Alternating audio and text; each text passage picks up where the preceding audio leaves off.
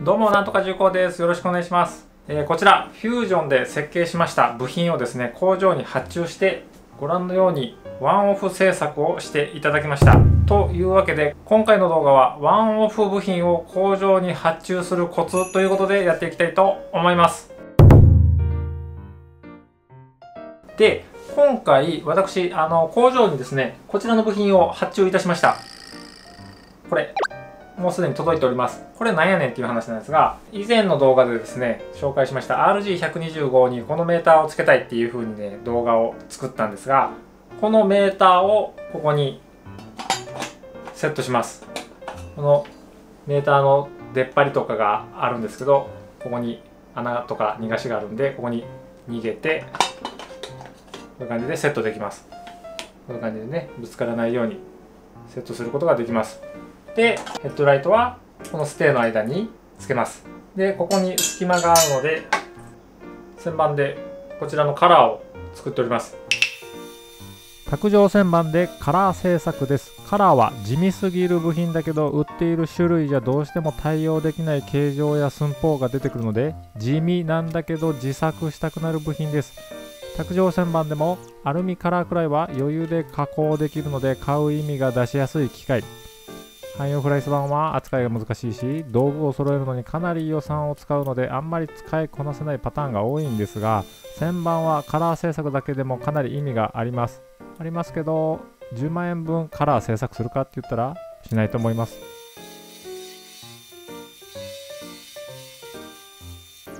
カラーをここに挟み込んで、えーこれの間にライトをつけると。でこちら。こちらにですねちょっと変わった穴が開いております。この穴にウインカーをセットするという風な設計となっております。こちらちょっと見ていただきたいんですが。メーターヘッドライトウインカーのモデリングは別途しておいて程よい位置に配置してステを設計するという流れで作りました。こんな感じでメーターの突起物もモデリングしておいたので干渉を見れます。これはカラーですね。こんな感じで全体像を把握しながらモデリングしていくことができるので試作の数を減らすことができます。作ってからああちょっとバランスが違うかったっていうことが少なくなります。でまあこんな感じの組み立てデザインになると。でまあせっかくなんで軽く組み立ててみたいと思います。はいこちら組み立てた状態がこんな感じです、えー私といたしましてですねこのヘッドライトの横長なデザインに、まあ、ウインカーを横並びにラインをね揃えたいという感じで作りました。ウインカーを小さくするっていうのがまあ世間の流行りだと思うんですけど、まあ、そういうのにはあんまり興味がなくてウインカーはむしろ大きい方がいいということでヘッドライト割と小さめのものを選んだのに対してウインカーは確かこれ ZRX だったと思うんですけど用の純正と同じもの純正相当品みたいなものを買いました。で紹介したメーターがここにつくというような、えーこれはどうしてもですねギュッとここに、えーアイテムを集約させたいということでステイを設計してで依頼しましたということですね。えー自分でも作れることは作れるんですが今回はまあ工場に依頼してみたという感じです。ででまあせっかくなんでこちらのステーをちょっとアップで撮ってみたいと思います。レーザーで切断した板をティグ溶接のなめ付けで組み立てられているといった感じです。価格は製作が1万5000円送料税込み。総支払いは1万8000円となっております。ちなみに見積もり前のケロの予想では8000円から1万3000円という風な予想でした。タップ溶接でいいと言ってあるので間を空けて溶接してあります。レーザー切断なので形状綺麗です。面取り指示してないので糸面取り仕上げです。よく言うビードの美しさがどうのこうのといった話はオプションなのでこだわってほしい人は事前に言っておきましょう。オプションなので価格は上がるものと思っておきましょう。えー個人依頼は工場から相手にされないことが多いんですが工場側の理由3点を順位をつけながらそれぞれケロなりに解説していきたいと思います。早速なんですが第3位。えー安い仕事を要求されがちということで例えばですねどこそこのメーカーのこれ高すぎるから安く作ってよとかピッとつけてピッと削るだけやから安くできるでしょとかという風な感じのことをよく依頼されたりとかですね言われたりするんですけど、まあ、メーカーが作っているものっていうのは量産効果というものがついてですね安く仕上がりやすくなってるんですよね。量産品だと1回段取りをすれば5個10個100個1000個1万個っていう風にえ、まとめて作れるんで基本的に1個あたりにかかる時間が少なくなっているのでまあ安くできるんですね。量産品の場合は。対して単品の場合は1個1個に時間が多くかかるんでえ1個だけを何かワンオフで作るっていう風になると基本的に量産品市場に出回っているものよりも高くなるんですね。ピッとつけるためにはですねそれなりにジグを用意して歪まないように、え溶接したりとかピッと削るためにはですねいろんな工具を準備して機械につけておいてで材料をしっかり保持しないといけないための段取りも必要とかっていう風になるので1個削るために結構膨大な手間がかかってくるんですね。でピッとつけてピッと削るっていう感覚は分からなくもないですが実際にはピッと削れないっていう風になってます。続きまして第2位なんですけどもクレームが多くなりがち基本的に普段目にしている工業製品っていうのはですね品質が高く作られるように管理されておりますと量産であるがゆえにですね単品に比べて品質管理がしやすいです単品の場合は個別に品質管理をしないといけないということで基本的に大変な作業になってくるとえー、加えて似たような部品を作ったことがあってもこの部品自体は初めてみたいなことになってくると段取りも初めてやることが多いとかジグも初めて作るとかっていう風になるんで単品とか少量生産っていうのは、まあ、そこでも手間が多くかかりがちです。そのため量産品に比べて単品とか小ロット生産っていうのは傷がつきやすくなったりとか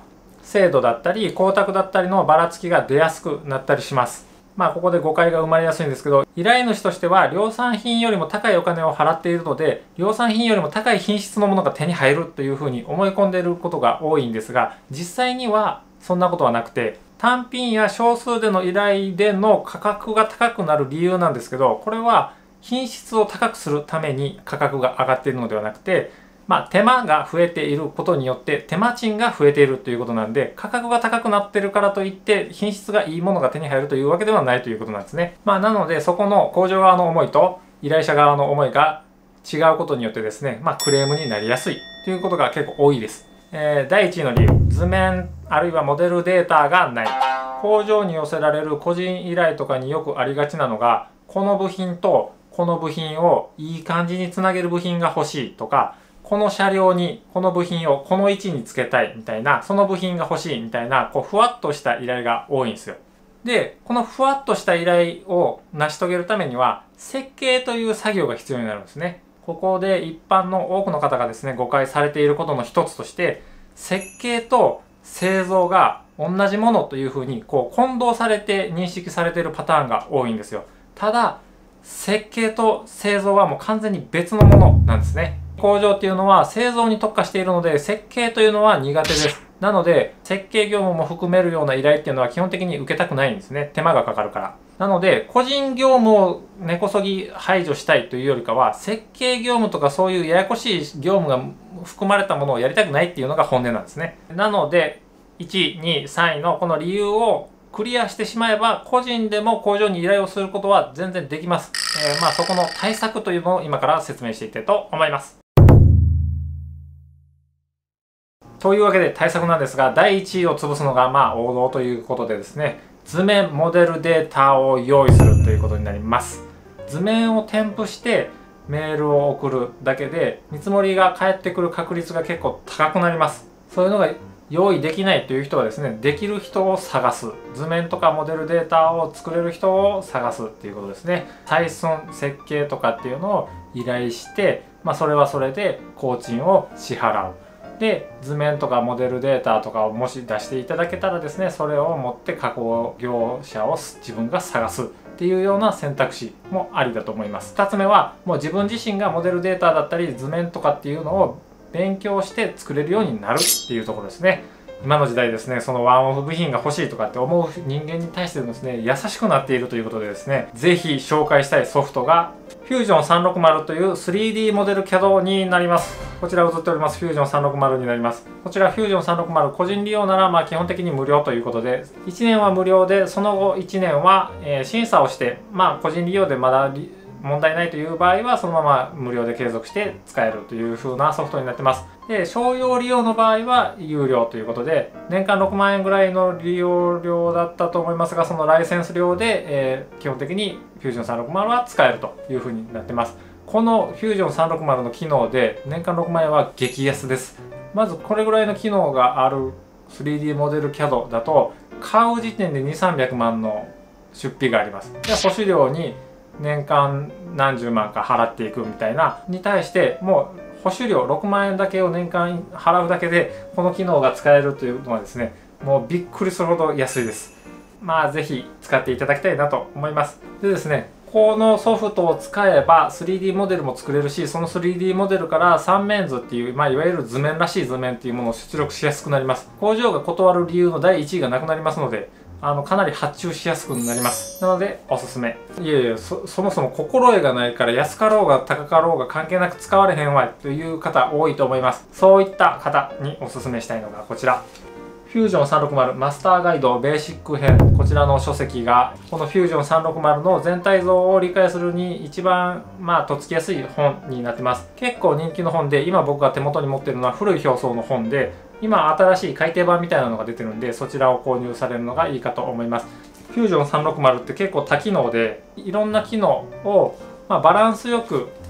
解説した本がこちらで初心者向けってなるとこの本がおすすめです。で第2位のクレームが多いということによって工場はあの工人からの依頼をあまり受けたくないっていう心理的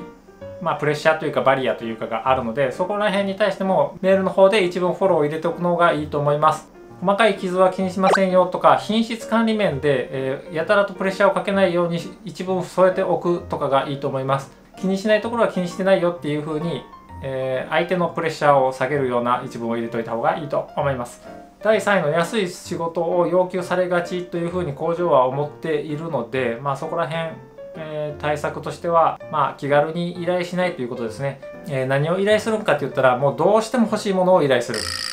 これだったらちょっと高くなっても仕方がないから依頼するぐらいの気持ちのものを依頼した方がいいと思います。そういう付加価値の高いものを依頼する。日本の製造業は決して安いものづくりが得意ではないんですね。今となっては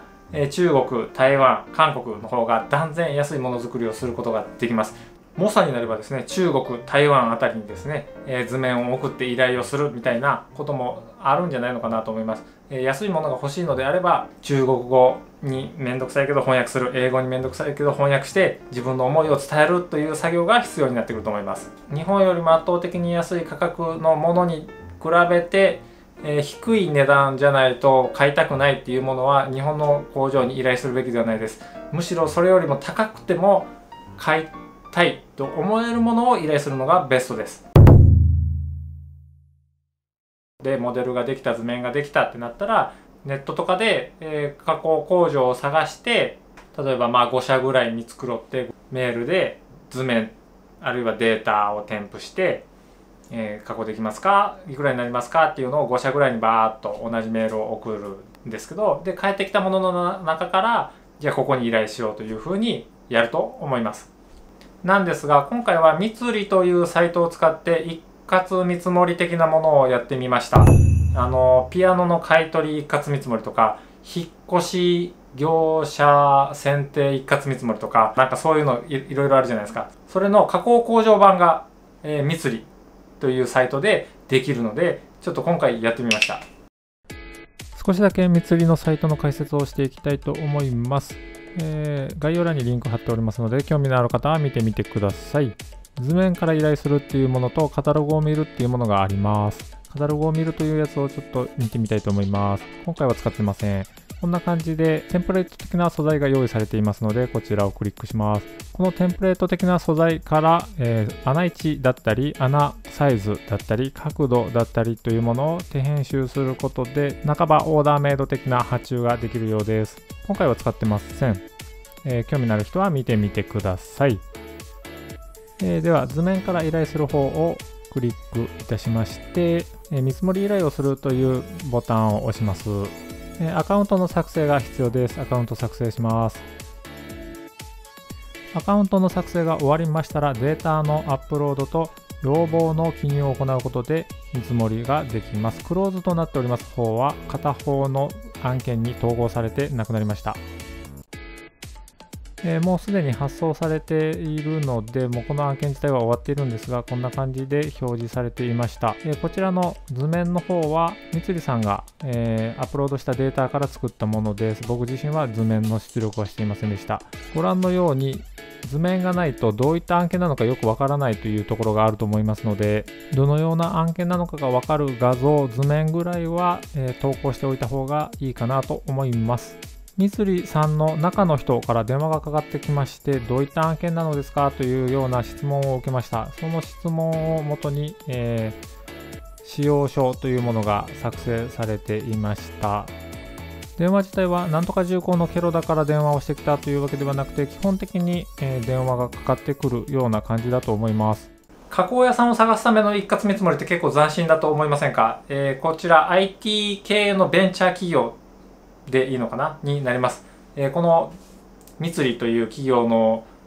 社長さんと知り合いなんですけど、えー、まあなんとか重工の登録者がもっと少ない頃数千人ぐらいの時ぐらいにですねその IT 企業の、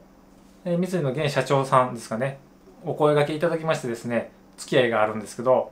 えー、当時はそんな三井みたいなサイトはなくて、まあ、最近そういう見積もりが可能になるぐらいのレベルになってきたということであいつの間にかそんな感じになってたんですねということで今回、まあ、自分で作れなくもないんですがちょっと試しに依頼してみました。なかなか斬新なサービスじゃないでしょうか、えー、まあ、もし興味がありましたらそちらの方もちょっと一度チェックしてみてはいかがでしょうか。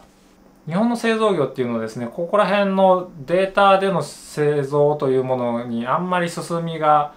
早い方ではなくて基本的に図面が必要です。図面を描くって結構専門知識がいるんですよね。専門知識がいるんで図面描けないっていうパターンもあるんですけど、できればモデルデータでモデル、3D モデルを作ったらそれだけで、作ってくれるっていうのが理想なんですけど、今のところまだそういう形には日本の製造業っていうのは完全には移行できてないんで図面が必要な率が高いんですが、今回依頼した三井だとモデルデータしか僕見積もりの時に出してないんですけど、まあ、三井の担当者さんが 3D データから 2D 図面をえー、起こして工場とやり取りして実際にこういうステイが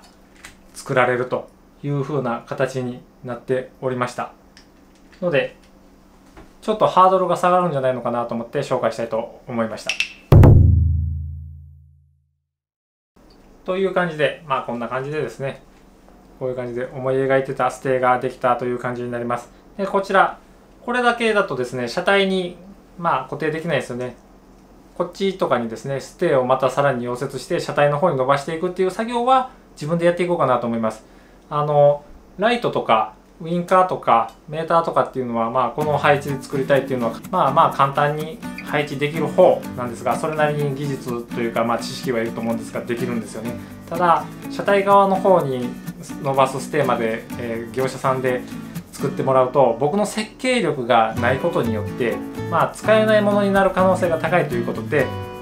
このステーと車体側をつなぐステーは自分で作っていこうかなというふうに思っております。RG125 ガンマのフロントマスクの、えー、動画等もお楽しみにいただければと思います。というわけで今回の動画は以上になります。面白かった参考になったという方いらっしゃいましたらグッドボタンチャンネル登録どうぞよろしくお願いいたします。ご視聴ありがとうございました。